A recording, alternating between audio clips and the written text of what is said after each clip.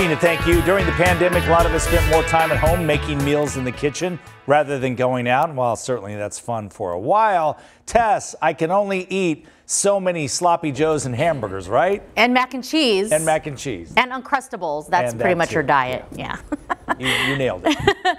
we know each other too well. And you know what? I think everyone is ready for some new ideas and also maybe to help shed those extra pounds we gained over the past year. So we checked in with our partners at Cooking Light. Some say cooking is fun, others see it as a chore. Cooking meals has become more of a to do list item. And it's not something that I always look forward to every day, which is why I love the Cooking Light diet and why I've always been such a big fan of it. Award winning dietitian Carolyn Williams says the meal plan from Cooking Light will help not just expand your culinary choices, but it'll also help you make healthy choices. So they use real ingredients, real food, but they also incorporate simple hacks and tricks to make preparation simple, make meals come together quicker. You know, one of the things I love about the Cooking Light diet is that no foods are off limits. There are not good foods and bad foods. Sure, there are foods we need to eat more of and foods we need to eat less of, but nothing is off limits. I feel like the Cooking Light diet is one diet that's unique in that it fully embraces that. If you want a recipe for macaroni and cheese, Cooking Light Diet is going to find you one and give you one. If you want chicken enchiladas, um, anything you want, you can find it. And I, I, love that Cooking Light makes it so easy to incorporate all foods that you love and all dishes.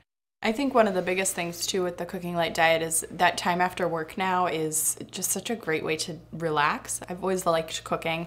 Um, it's definitely a diet for people who like cooking. Mm-hmm. And we get to spend that time in the kitchen and talking about our day. And, you know, he's a great sous chef. He helps chop, prep, um, just keep me company. It's just been really easy to integrate into our day to day. And really, I think it's made it easier.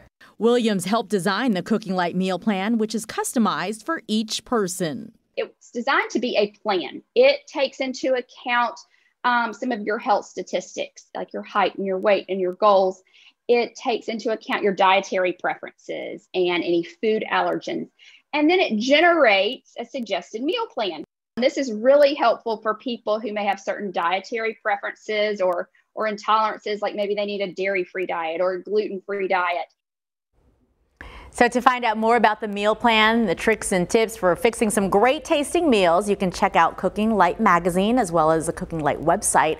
Cooking Light, by the way, is produced by the parent company of Arizona's family, the Meredith Corporation. So I know we're always talking about uh, what are you making for dinner? Do you have a new recipe?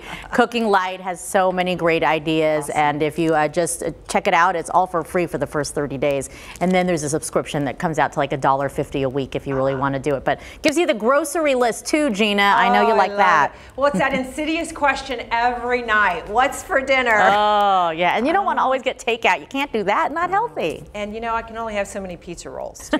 So. Thanks, Tess.